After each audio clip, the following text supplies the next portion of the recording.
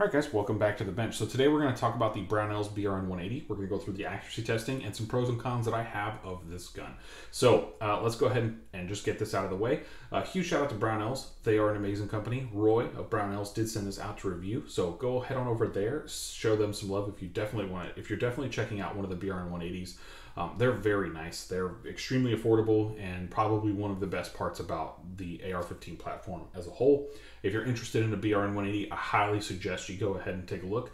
Uh, we're kind of going the opposite end of the LMT that we did last week. So this is a more affordable, around $700 upper receiver. Kind of comes with everything you need, bolt carrier group, charging handle.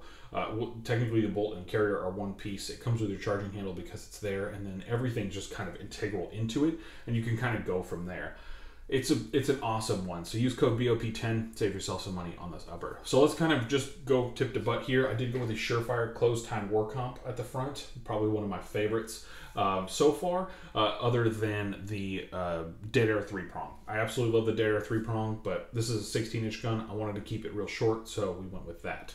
Um, I am running in Malkoff devices on a Surefire movable mount here. the 640 bodies. Um, and yeah, they're really cool. I absolutely like it. But the Malkoff E2XT on this Surefire, very awesome with a light clicky tail cap. Slate Black Industries SVG. So this is the vertical grip that goes on here. Absolutely awesome. I love this. I love the Slate Black and the Unity. I've been finding that I've absolutely liked both of them so far. So I'm running the Unity on one of my other guns. I think it's on my on my 14.5 URGI and then I'm running it on this. So uh, I'm running the slate black on this and another a couple of other guns, and I've been absolutely loving both of them. So if you're ever in the if you're ever interested, you want a vertical grip, the Unity and the Slate Black Industries both extremely portable, and I highly recommend both of them. It's just a, if, whatever one you want for your aesthetic. Uh, BCM QD little attachment here. This is anti-rotation, how LMT should have been from the beginning, but they weren't. And then as of right now, because I don't know my optic selection yet, um, I'm still thinking about a, quite a few things, but uh, we have the uh, my bastard child optic here, which is my Holosun uh, 403 GR, so the gold dot with the um, uh, rotary switch on it. So this has the rotary one. I've absolutely been loving that. I've actually had this optic for four years and I've only changed the battery once. Um, not a huge fan of Chinese products, but I will say this one was probably built pretty well. And the Scalarworks mount, which is the exact same price as the optic, so there you go.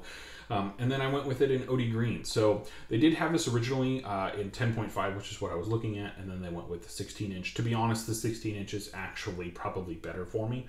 I like rifles more. Now I will say, one of the only things I don't like about the BRN 180 is it doesn't come in a 14.5. I'm going to go ahead and state that right now. It's BS that this doesn't come in 14.5. And the reason why I know that is PWS makes this upper receiver. Uh, I'm, I'm just going to go ahead and state I think it's absolutely ridiculous that this upper receiver does not come in a 14.5.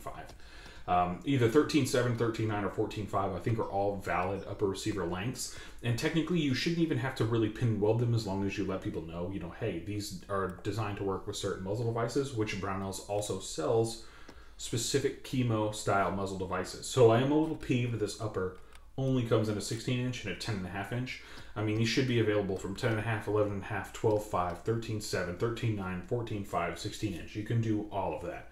Uh, but these currently only come, these currently only come, sadly, in 18 and a half, 16 inches, and 10 and a half. And 10 inches if you go 300 blackout, but I'm talking about the 556 variants specifically. Really my only bone to pick with this. Uh, I do feel a little bit of gas coming out the front when I do shoot this, so I don't know if there is a leak in the gas system or if that's just how the short stroke gas piston is designed, which I, I will say I'm pretty sure that's exactly what it is. I'm not a huge fan of short stroke or long stroke piston systems. I do realize they make it harder for guns to work, but this is also how this gun was designed.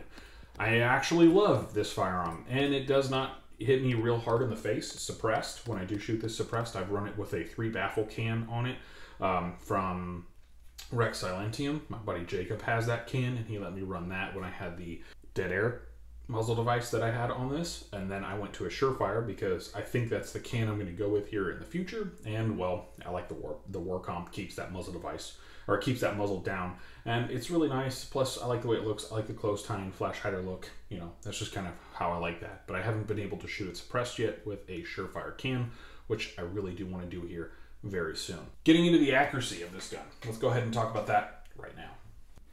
All right, so let's go ahead and just state this right off the bat. These were all shot indoors with a primary arms 4 to 16 power scope over at Texas Gun Club at their 50 yard indoor range. So there is no crosswinds or anything like that. This is just pure unbridled um, accuracy. So 50 yard accuracy test. These are all shot at 10 round groups also. So the first one up is Fiocchi Range Dynamics 55 grain stuff looks like this. This is exactly the box comes in, 50 round boxes. This is a very good load so far and has in fact been performing quite well in the BRN 180 along with other guns that I've had.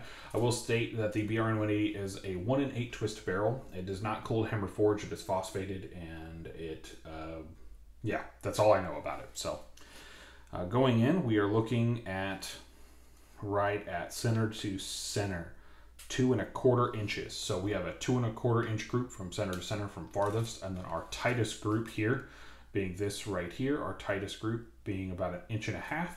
So two and a quarter inch 10 round group. I don't think that's bad at all. I mean, especially just being right in there. It was a very good group. I'm very proud of this. And yeah, also shot with a LaRue MBT two stage flat face trigger. All right, going in with the M193. So this is, uh, it's a company, it is not the Lake City M193 that I have. This is some sort of, um, I think it's like Indian, it's like Lahab. It's like Saudi Arabian or something like that. Lahab Arms or something, but that's what it is. So our farthest group looks like an inch and three quarters. Yeah, it looks like we're at an inch, an inch and three quarters right here. So center to center, actually just under an inch and three quarters for the M193. I actually would say that's a very respectable group. Um, I was actually expecting that to be a lot bigger, but the 223 and the 556 rounds here, it looks like it prefers the heavy, the hotter stuff, the 556 out of a 1 and 8 twist barrel for 55 grain stuff. The next stuff that we shot though was some Black Hills. All right, so the Black Hills ammunition is probably some of my favorite ammo. It shoots great in everything, and in fact, I'm to go ahead and say that I don't know how great it performed here, but this is a 10 round group.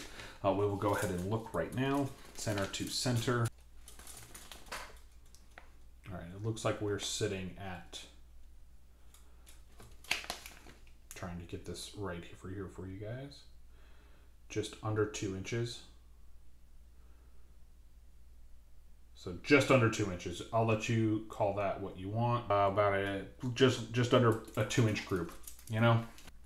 All right, guys. So I think we had a few solid offerings from the Black Hills, the Fiocchi, and the Lahab 193. Although we do have some Lake City 193 that I think we should definitely test out on this guy also. So I think that this is a pretty good 77 grain stuff. But I do want to test some lighter 55 grain stuff uh, especially these hunting loads right here, because I think this is definitely one of the roles that this gun can play. Is definitely a varmint uh, style hunting thing. You know, definitely go from like uh, white-tailed deer all the way down to groundhog and prairie dog and all that other fun stuff. So uh, I think that this would definitely be one of those rifles that definitely handles a lot more uh, than just you know being like a tactical rifle.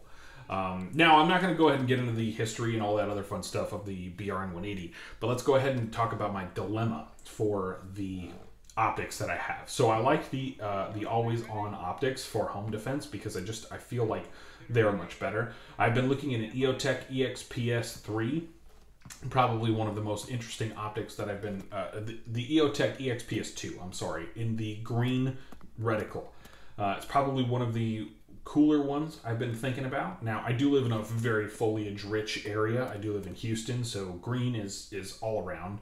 Um, there are no mountains. It's literally just hot, humid, and green all the time. There's not very many times a year where we don't get a lot of rain. So the green dot, um, people do say that it washes out. I haven't had that issue with the Holosun green dots that I've had in the past or the Holosun green dot that I carry on my pistol. Have not had that issue. Now, granted, normally when I'm carrying my pistol, it is in the city, not out in the, uh, with my green dot anyway, not out in the bush because I usually carry my 17 or anything like that. So going into it, uh, the Aimpoint Duty RDS is probably my big contender for what I want to put on here. I specifically love the Aimpoint Duty RDS, but they are very hard to find right now. Apparently, they're all going to the good old war in Ukraine that nobody cares about anymore, specifically me. Um, but yes, going into it, the BRN 180 and uh, always on optics. I think this would be a good home defense rifle, good predator hunting rifle, good hunting rifle, just anything like that. You could literally go from whitetail deer all the way down to small game and include self defense in this upper receiver. I think that it's it's just that well rounded. Um, we will definitely do some more accuracy testing in the future with those lighter loads because I definitely think that the 55 grain stuff proved itself pretty well, but we could definitely get into some better, uh, more well rounded optics uh, that go with that, and then we can always also go into the ammunition to kind of feed that. Now, I don't want to go with an LPVO. Not a big fan of them. I do think that uh, if you if you need distance, the good old G45 will do, which I do plan on picking up here pretty soon. The uh, EOTech G45 is a 5X.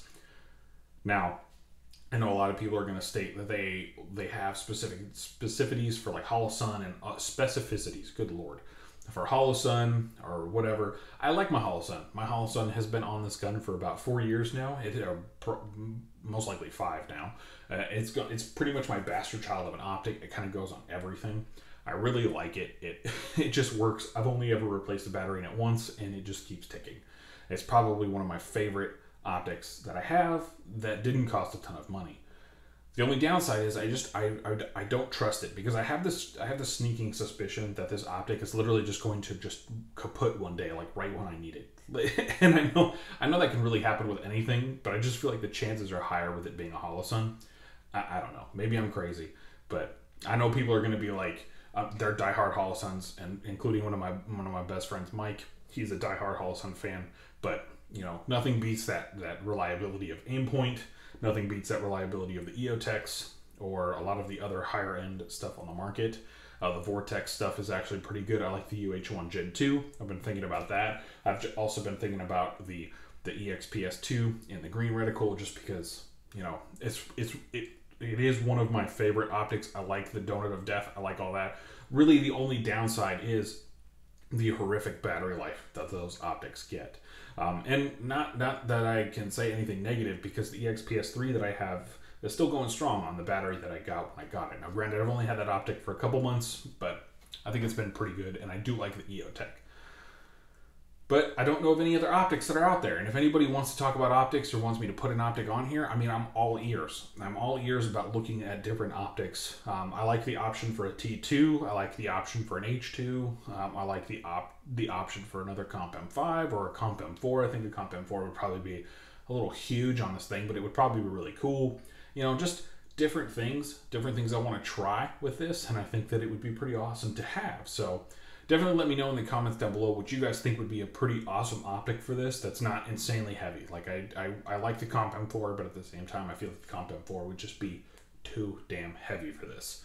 So you guys let me know in the comments down below. Other than that, I haven't had any issues really with the BRN180. I haven't noticed any problems with it, you know, doing anything like short stroking or anything like that, especially when it comes to the gas system. Now, I did run this suppressed a little bit. You can probably see in the videos in the backgrounds.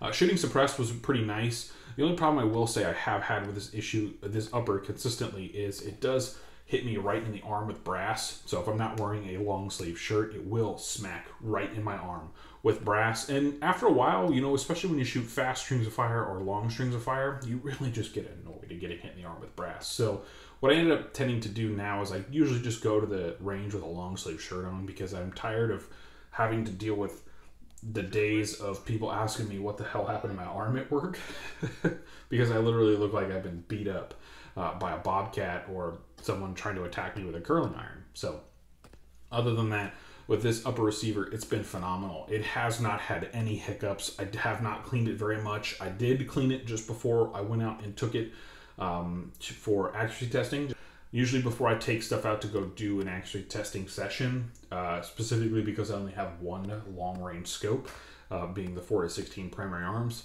That's usually kind of how I end up doing those sorts of things. So if you guys have any other questions down below about how I do things, or even if you just want to ask questions about the optics that I'm thinking about for this, or if you want to add your own, please let me know. I would be more than willing to look at different suggestions. Not saying I'll do it. I'm not saying I'll do it, but I am more than willing to look at them. But yeah, Thank you guys so much for tuning into the bench. As always, I can't say what I used to say. I really hope you guys enjoyed watching this video and giving me feedback down below. As always, be a hoodlum.